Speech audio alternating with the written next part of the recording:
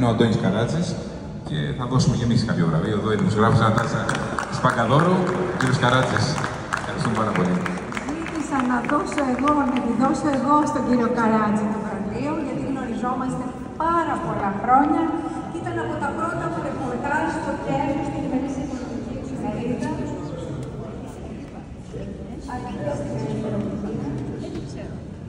Το δεύτερο και πάρα πολύ σημαντικό. Μας αρέσει πάρα πολύ να κοινοποιούμε και να διαφοροποιούμαστε σε όλες τις πράγματα. Ακόμη και όταν πολλές φορές πιστεύουν άλλοι ευρωβουλευτές μας ότι αποφύγαμε διαφορετικά. Κοιτάξτε μας όλοι. Μια φωτογραφία.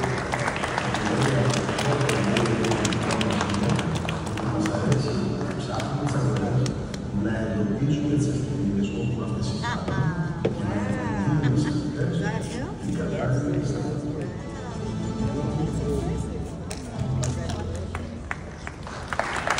Λοιπόν, να είστε καλά. Ένας στον τελεσμό. Θα ήθελα να ευχαριστήσω ιδιαίτερως την κυρία Λαφωνιάνη, την EAWC, όλο το Συμβούλιο, για αυτή τη τιμή που μου κάνετε. Είναι τόσο σημαντικό να προσφέρεις στην οικονομία της χώρας σου, αλλά ακόμη πιο σημαντικό να επιστρέφεις κάτι πίσω στην κοινωνία.